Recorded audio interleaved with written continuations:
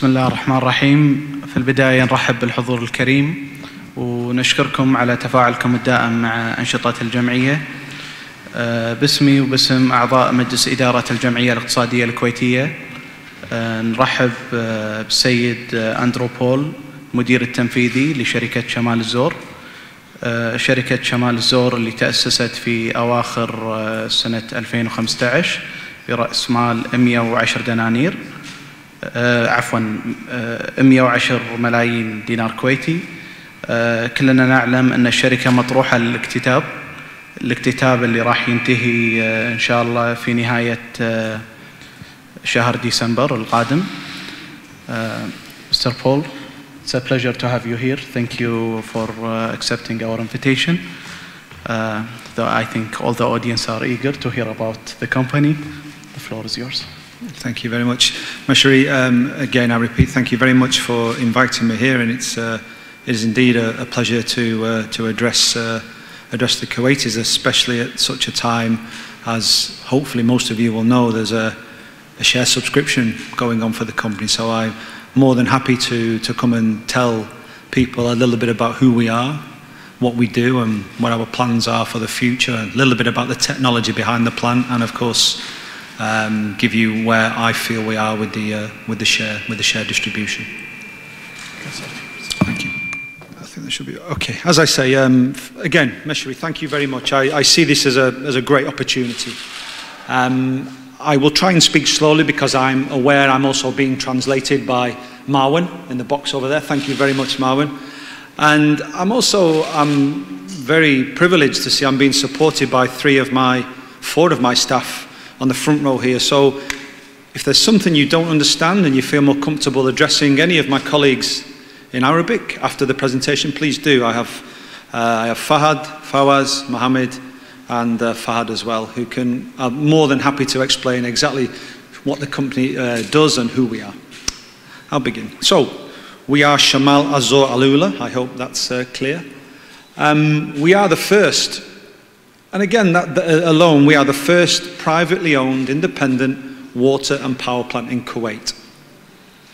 Um, I'm obviously presenting to the Kuwait Economic Society. And let's just, before we go on, let's talk a little bit about the project itself, the, imp- the implementation phase. Um, the, the whole reason we're here is there is a, a, a legal framework and a private, uh, a PPP policy. PPP Law 116 and the IWPP privatisation law. This is the legal framework that underpins exactly why we're here. Um, the project itself is a greenfield BOT. BOT means build, operate, and transfer. I have a 40 year contract, energy conversion and water purchase agreement with MEW, with the government of Kuwait. The BOT means after 40 years, I actually transfer the power station over to the Kuwaiti authorities. My main off-taker, as it says there, is the Ministry of Electricity and Water. I have a, a close working relationship with all the guys at MEW and within PSPD. And as I say, we've been here for three years now and we've envisaged no significant problems. Just some key dates and some key figures for you. Financial close was in um, January 2014. The project total cost roughly 1.7, 1.8 billion dollars. We generated first power shortly after in May 2015, first water in February 2016, and project commercial operation slightly just over just under three years ago on the 26th of November. And again, that's a figure we're also very proud in because the project was on schedule. It's in the construction industry, it's not often that a project of such complexity finishes on time. We did, something we're very proud of.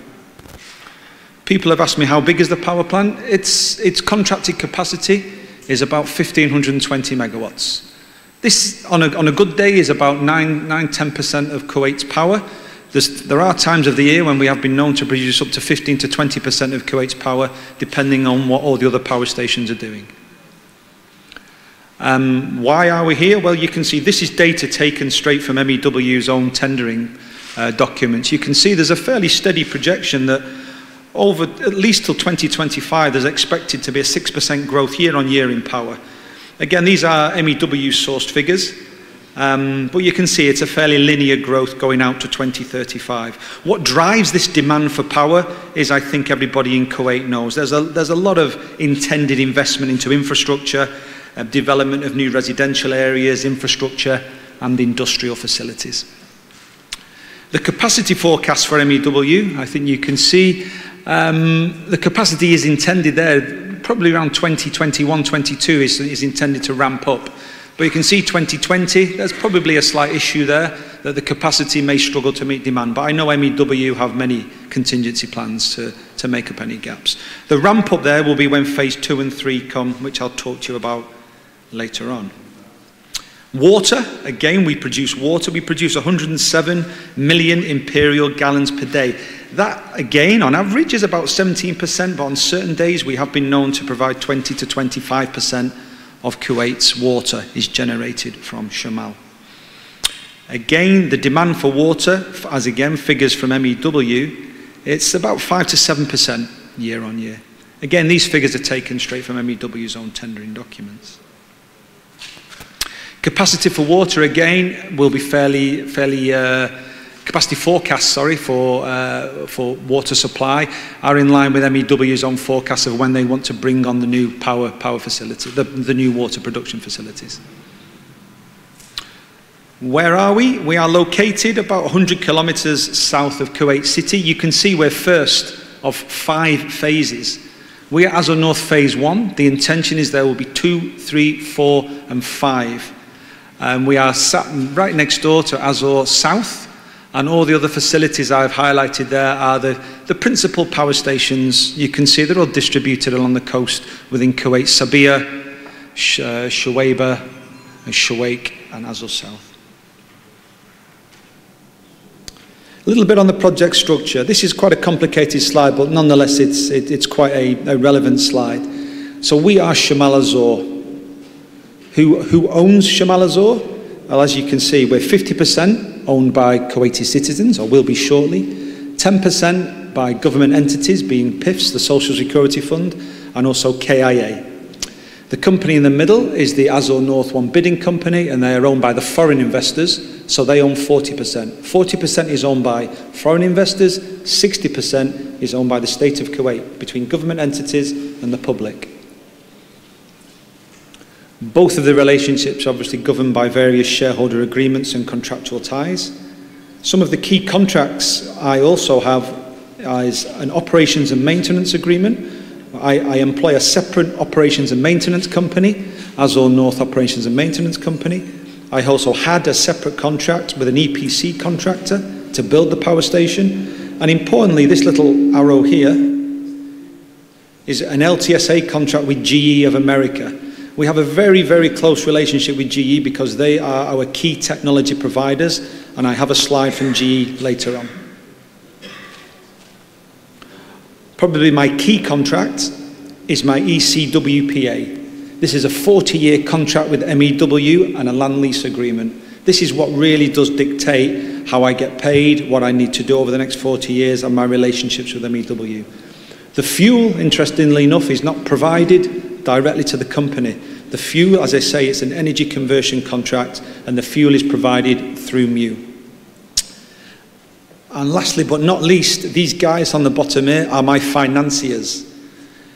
Um, the, the, the, type of financier we had is project finance. And the more I spend time in Kuwait, I realize that project finance isn't as, um, isn't as popular as in Western Europe or other parts of the world. So I've got an extra slide just to explain a little bit about project finance. But the guys on the bottom there, J Japanese banks, Bank of Tokyo, Mitsubishi, uh, BTMU, JBIC, those are our main financiers, along with NBK.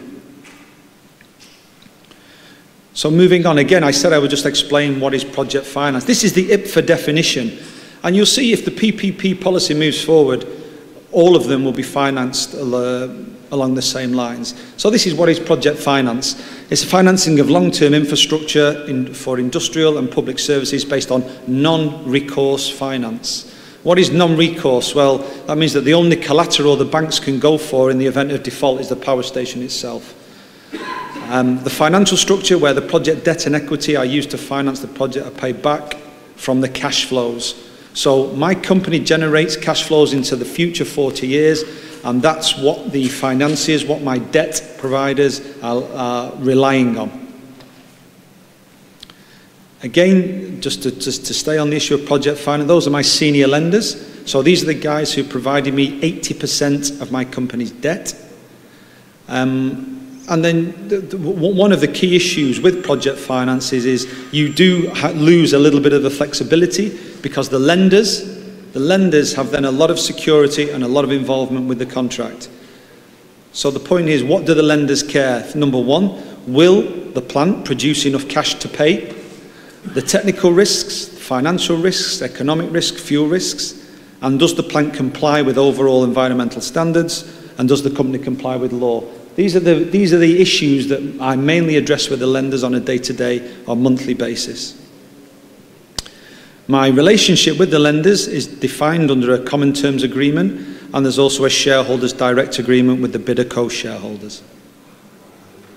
A little bit of the sizing of the funding. You can see there's three key tranches there for the funding. We have a JBIC facility of 624 million, a commercial uh, facility agreement of 489 million and a NEXI covered tranche of 274. That's about the 1.4 billion. The remaining 300 is, comes from obviously from equity. I also have interest rate hedges. Again, we're looking at future uh, 40 years of interest rate risk. So this risk is mitigated while placing interest rate hedge, hedge contracts. And we also have a small working capital facility with NBK. Um, further on the financing, um, there are a number of security agreements. So what happens if the project comes into default? Very simply, very, very simply, the banks, the lenders can step in and take over operation of the plant. They can take over and step in. They have various step-in rights in all of the contracts. How does this work? Very simply put, there are direct agreements. Should the project start to have any issues, the banks can step in and take over the relationship with MEW via the ECWPA. They can take over the relationship via the EPC direct agreement, or they can also take over the O&M uh, contract with a direct agreement. This, the whole point of this is to realise that the financiers need security. They need the peace of mind that the debt will be repaid. There's no risk of not paying the debt and interest. So the contracts, whilst very, very restrictive, are also very, very necessary. A little bit on how we make our money. This is a question I've been asked a few times. They say, Paul, how do you make your money? We, we actually charge a tariff to MEW based on capacity, i.e. how big is the power station. It costs us money to invest and to build the power station. So there's a fixed payment for, for power and water and that's basically there to allow us to pay our debt and to service our interest. And also to pay an equity return to the shareholders and any taxes and any other duties. And there's also another component for the fixed component for payment for power and water to cover costs of operation and maintenance, insurance, staff, spare parts. This is a very, very conventional approach throughout the GCC. You'll see this in the UAE, Oman. It's not really unique in, uh, in that respect. And there's also variable payments, a variable payment that varies with the levels of output. Should we produce more water, we consume more chemicals. Should we produce more power, we consume more gas, more spare parts. The last component there is probably a little bit more interesting. There's a fuel adjustment component, uh, which is based on a, calcul- on, on a model where the theoretical fuel consumption is compared to the actual fuel consumption. And any variance in that, we are paid a fuel bonus or a fuel penalty. So we're, we're incentivized to operate the plant as, as, as efficiently as possible. This is the organisation. It's a fairly small organisation. That's myself at the top. I have a CEO and a CTO. I actually have four guys of the company down here. Um, so we're a very lean, small organisation in, the, uh, in our head office. We have a significant organisation, or a, a, separate company, in fact, AZN O&M Co, based in the site. Currently have about 123 staff, and you can see it's split, a typical power station between operations, maintenance, engineering, human resources. Um, what, is, what is a combined cycle power station? I think this diagram quite, quite sums it up quite neatly. We have five gas turbines, as I mentioned, they're GE gas turbines, and I'll show you a gas turbine very shortly because that really is the heart of the power station. We have four heat recovery steam generators, two steam turbines, also provided by GE, and then 10 MED units. This is a gas turbine. In fact, this is our, the heart of the plant. This is our GE frame 9F series 0903 pack 5 gas turbine. I have a nice video which will help explain exactly how gas turbines work. I know I'm talking to economists, but uh, there's a very short video in a minute, two minutes long, which will hopefully give you some basic education into how power stations work. Um, the gas turbine has a nominal output of 255 megawatts. Um, and as I say, I have five, uh, 228 megawatts. And as I say, I have five of these gas turbines on the plant. I'm just going to show you a very, very short video. I hope it's two minutes long. I know I'm talking to economists, but at least it will explain the principles behind the power station.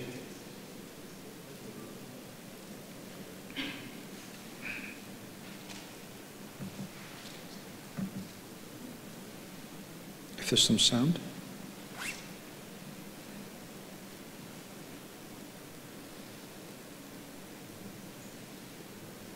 I apologise, there's, uh, there's no sound, is there? I will stop that. If there's no sound, I don't think we, we, we will do that.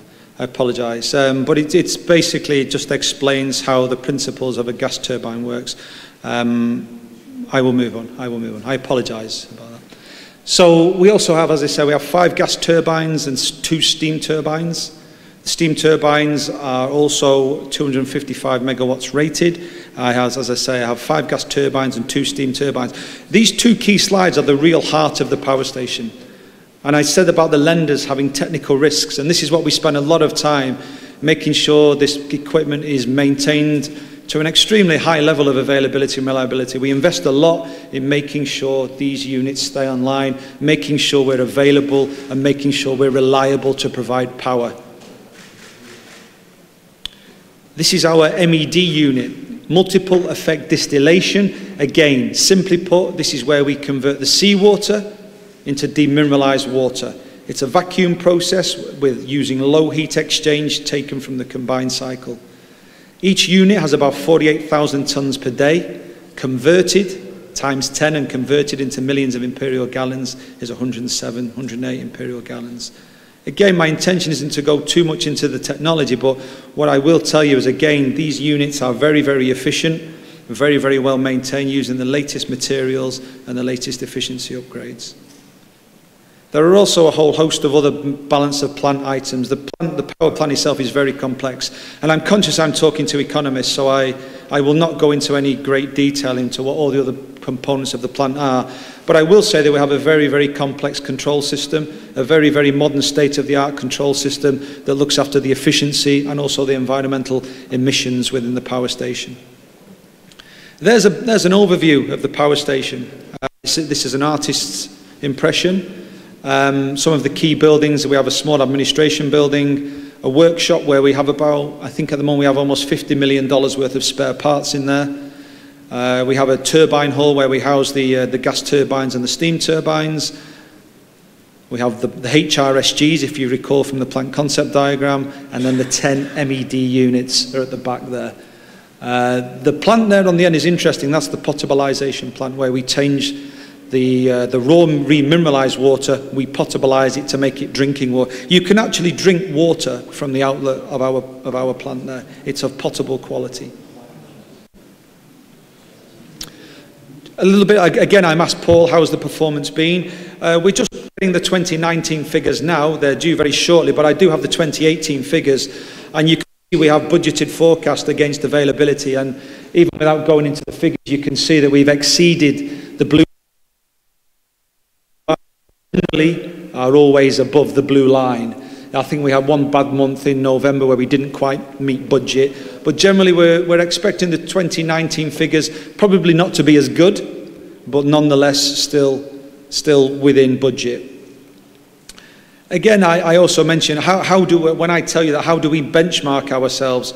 I work for Engie and we have a lot of power plants in throughout the Gulf, but we benchmark ourselves with our other power plants in Saudi Arabia and Kuwait. And you can see on the far left there, that's Azor North. We're actually nine, we're some of the highest reliability uh, figures for our power plants within the region. I should be very proud of. That it is a very, very highly well maintained, highly efficient, highly available power station. Um, future PPP projects. Um, MEW have launched, or they did launch, uh, the technical advisor for phase two and three. As I say, phase one, we are the first of five phases. Phase two and three is an even bigger project, 2,700 megawatts and 165 million gallons. Um, this data will probably need to be confirmed by MEW, but probably the first quarter or the second quarter of next year, requests for quotations will go out, followed three months later by the RFP. This is, obviously, this is um, data that I've taken from MEW and will need to be confirmed by them. There's also Al Kiran, another huge power project, um, which will be developed slightly after two and three, 1,800 megawatts and 125 million gallons of capacity.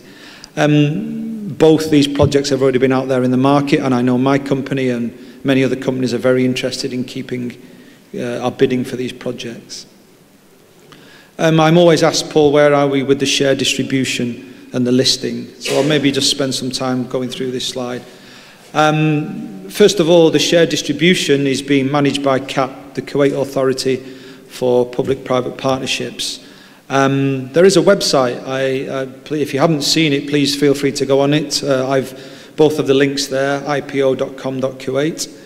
um, have a look and that will give a lot more details and some of the data I presented to you now you will see on the website. Um, I've mentioned to you already that the share distribution is, as we speak, still open. It was open on the 1st of October and will stay open until midnight on the 29th of November.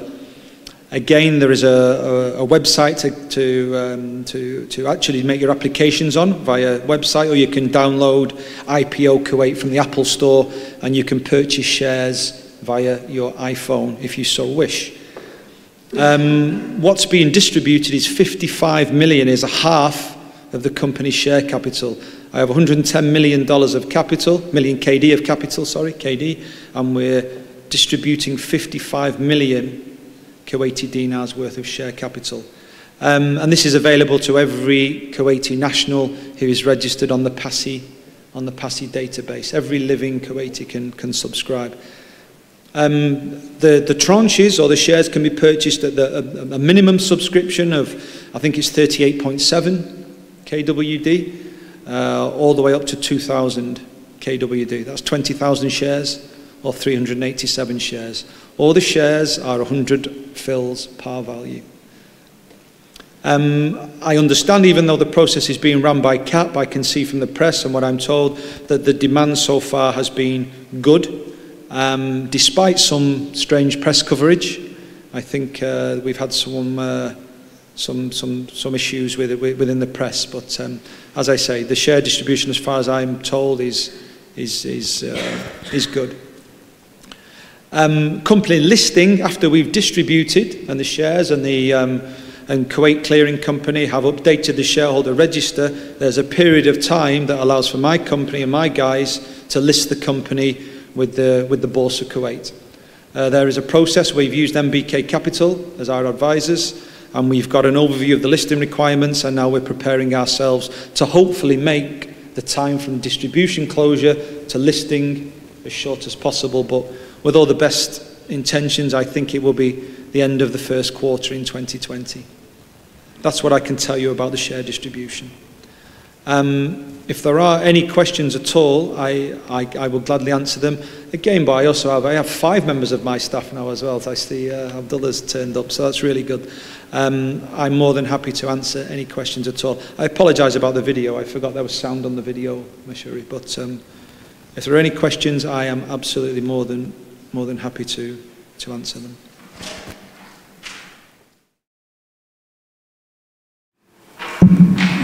Uh, thank you. Can you tell us more about uh, your future plan of distribution, the dividend that you're going to pay it out, what you're going to retain from the dividend, and is the cash flow just stable or going to have a growth element as well as a growth element in terms of the uh, distribution of the dividend? It, it, it, it's a good question. Um, again, how, how, how I can answer this and how I can only really answer this is it's a, it, it's um, a utility stock. It's a defensive stock by, by nature. If you look at utilities, especially in, in, in, in Western Europe, they are less volatile than other sectors of the industry.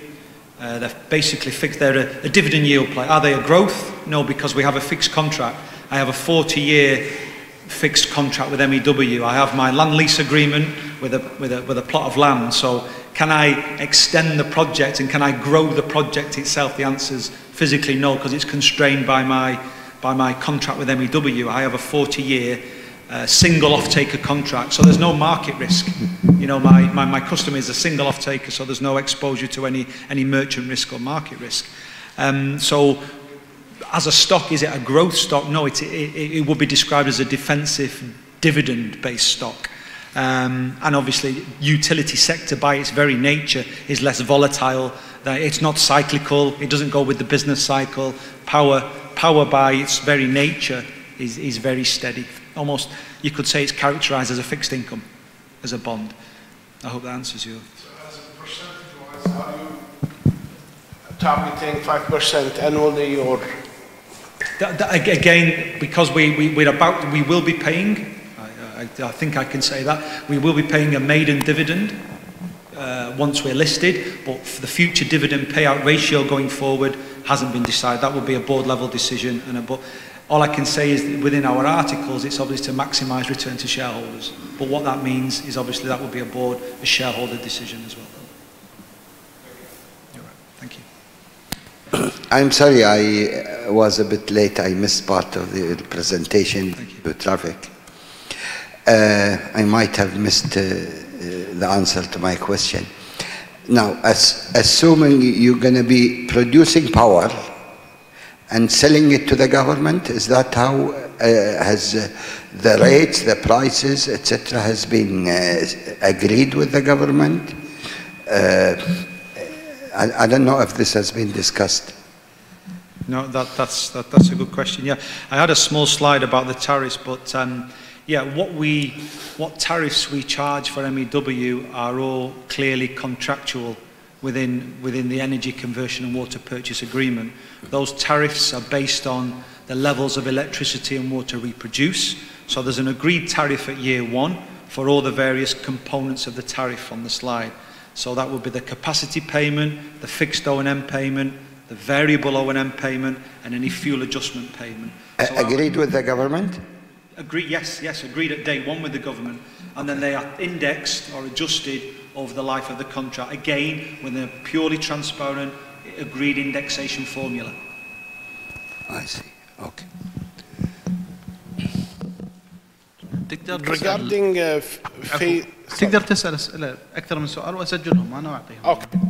Uh, rega- regarding phase two and three, Yep. will you do, uh, uh, will you raise capital separately or it will be uh, by default link from the first phase where uh, uh, the owner of the first phase gonna increase the capital? That, that again is a, is, is a good question. Just, to be clear, the Azor North development is done in five phases. My company and my consortium, we won phase one only. There's no guarantee that we will win phase two, three, or four. We, there will be a separate bidding process with other companies, with other suppliers, with other consortia, with other developers for the future phases. So, as I say, my contract is for phase one, and that's the one I have for 40 years. Would we be in a position, would, would my consortium bid for phase two and three, would be a decision made by the consortium members. I would like to think they did, they, sorry, I would like to think they would because we spent a lot of time developing relationships within Kuwait, understanding Kuwait, because Kuwait isn't so easy to understand all the time. So I would like to think they would, but that would be an, in, an investment-based decision that my shareholders would take. So phase one is a standalone contract. Two and three, it could be a totally, there could be another person talking to you presenting two and three. Uh, thank you, Mr. Andrew. Um, just so I can clarify again the point uh, the gentleman just said. So Azor al-Ula, first door, there is no direct exposure or bidding to phase two, or right? It will be your consortium, not the shareholders of Shamal Azor al-Ula, who will be bidding into uh, Correct. The- So that's a totally different different entity by your consortium, not Yes. exposed by Zohr al-Ula. Yes, it will. That, that's correct. It will be a separate, the structure I've shown to you there is for phase one. There'll be a separate project company, separate EPC, different EPC, different shareholders. It will be a, a totally, you're, you're 100% right, a totally separate bid project with no relation, potentially no relation between the two phases. Um, another question. Of course. Uh, Right now, as you mentioned, it's a, let's say a steady dividend payout co- company instead of like a growth. Is there any potential of it, like the company Standor Azor, expanding into a different business internationally, into the power sector? Are there any um, aspirations for it or any, uh, It's a good like let's say, uh, increase shareholder value instead of like considering it like a bond payment, you know, simple terms? That's a great question. Again, I repeat, so Shamal Azor is, a, is, a, is an SPV or a project company set up for Shamal Azor. Shamal Azor has its own contract and it, it, it, it will not expand because, number one, the ECWPA, the contract I have with MEW is a single supply. I can only sell my power to MEW. I, for instance, I cannot sell it to KNPC or KOC or an industrial facility. The power I produce is dedicated for MEW's distribution to the, to the Kuwaiti public. So there's no growth, shall we say, in, in expansion. I, Shamal will not be expanding. All we will do in future years will be focusing on keeping our costs tight, keeping the plant efficient, and keeping the plant very, very well maintained. Which is why, you know, we have um, GE of America, you know, where they're some of the best turbines, best service providers in the market. So that's what our focus will be. Uh, thank you for being here. Uh, speaking of uh, being uh, costly and maintaining profitability, we want to go back on the tariffs charged. So are they uh, fixed or uh, floating, or are they set every year between you and the government? Again, I have a, I have a contract, I have an index-linked tariff. So at year one, that there's, we won the project based on a tariff, correct? Whenever you bid competitively, it's the lowest levelized tariff that wins, provided there's technical compliance as well. So at year one, there's an agreed tariff for power and water, and that's where we win the project. But then obviously as costs escalate over the years, it's indexed to consumer price indexes, to producer price indexes, and there are formulas that allow indexation over the years to allow for changes in costs over the years. And that's it. So my, my, my tariff is fixed at the start, and then we'll just escalate with indexation over the period of the contract. There's no options for renegotiation of tariff, or it's a fixed, levelized cost of electricity based tariff. Okay, thank you. Going back on the same issue, Yeah. uh, would you, uh, uh, you, you realize that the consumption of power in the winter is uh, uh, much less than the summer? Uh, has this been taken into account or are they going, is the government going to buy the same quantity all over the year or, or how? That, that, that again is a, is a very valid question. Because we are the, the newest and the largest power plant in Kuwait as of today, as of North Phase 1, because we benefit from that very latest technology, so we are the most efficient. So MEW obviously have gas limitations on where they can allocate their gas, so they will allocate their gas to the most efficient power stations.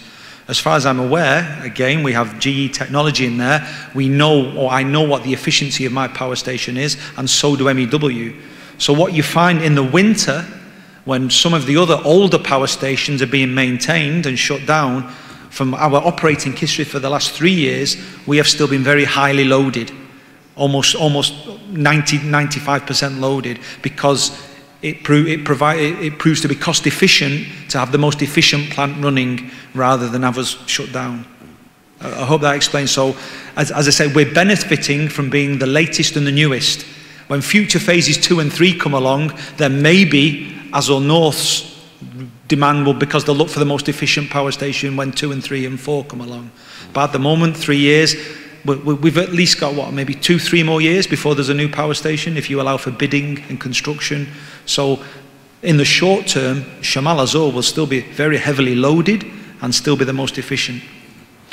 How about buying the gas? Uh, I assume you're going to buy it from the oil sector, or is it going to be imported? That's again, uh, if you look on the structure, we have this is slightly different from some parts of the region. We have an energy conversion and water purchase. So the energy, the fuel, is given to us. I have no separate fuel supply contract with KOC or KNPC. The fuel is provided through MEW to Shamal Azor. So I have no separate fuel supply agreement or natural gas supply agreement. But the plant is predominantly natural gas fired and it's provided by, by KOC.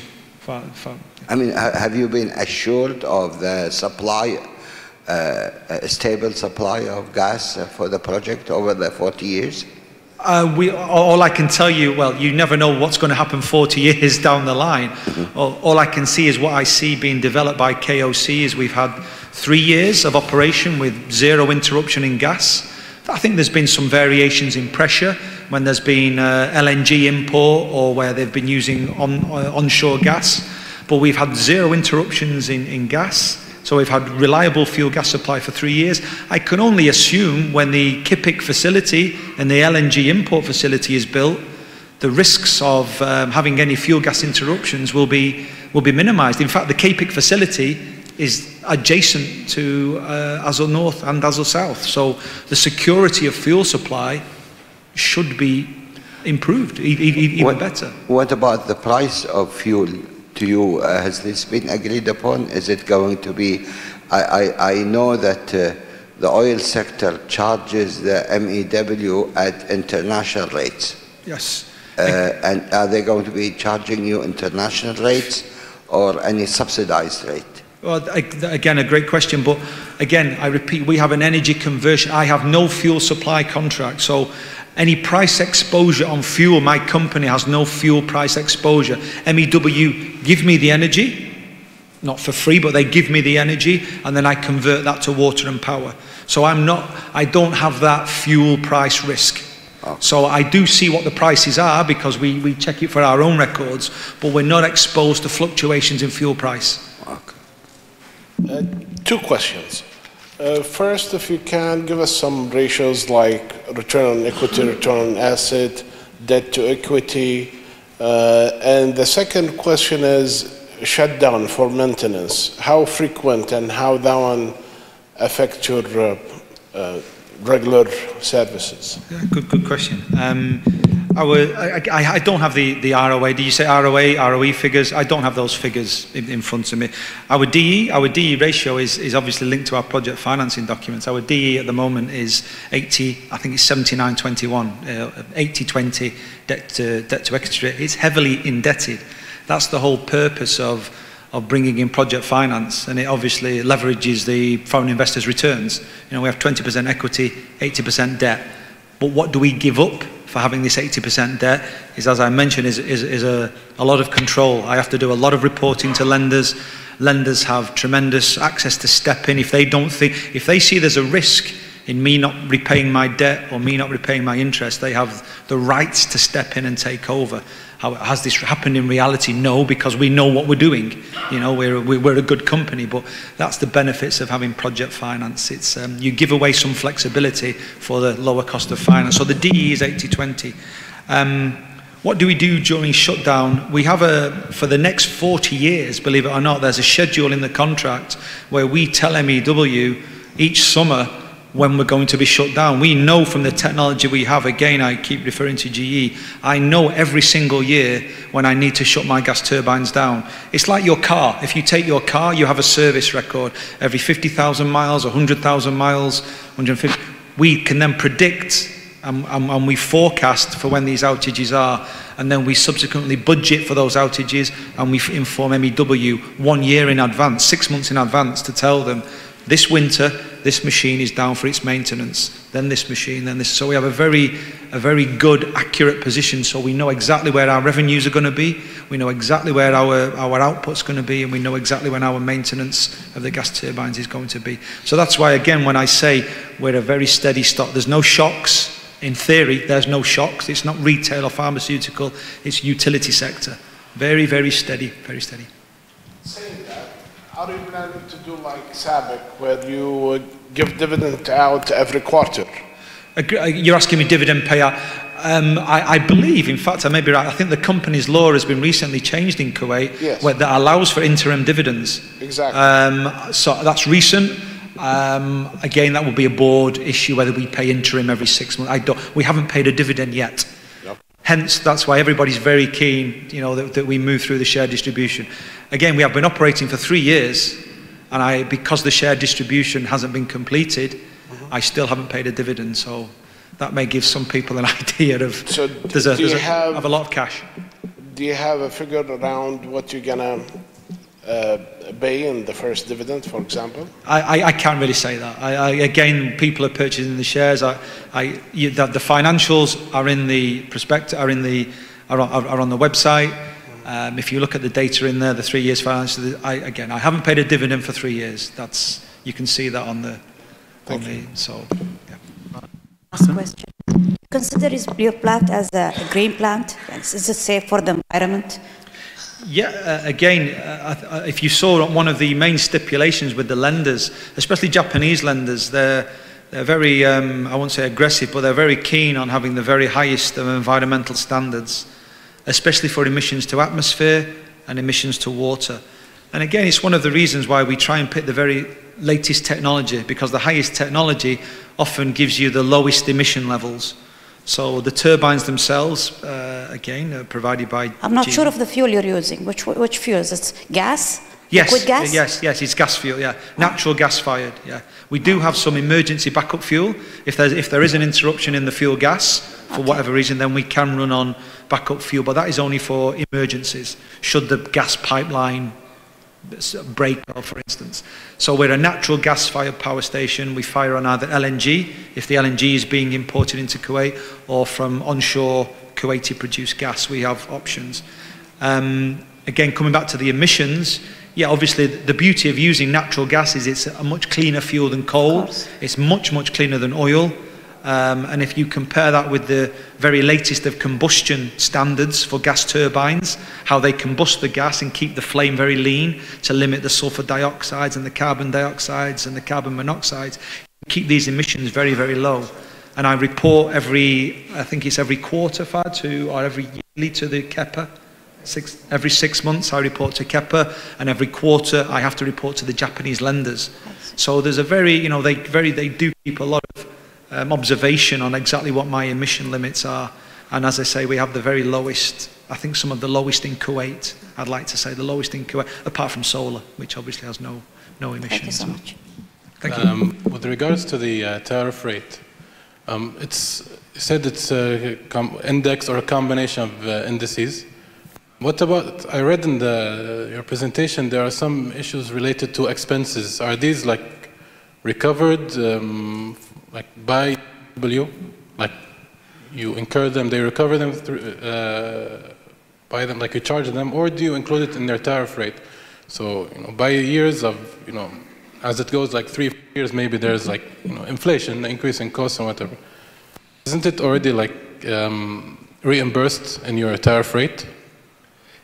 Yes, it is, but don't forget, uh, uh, when we win the project, when we won the project in 2013, there's a base rate tariff, yeah, and prices go up over the year, so it's it's natural and fair that you know your your labour costs increase over the years, your material costs increase in line with with uh, contractual indexation uh, clauses. You know, we we actually agree on what the indexation levels are, and every year we we talk to MEW and we agree what the indexation um, reconciliations are.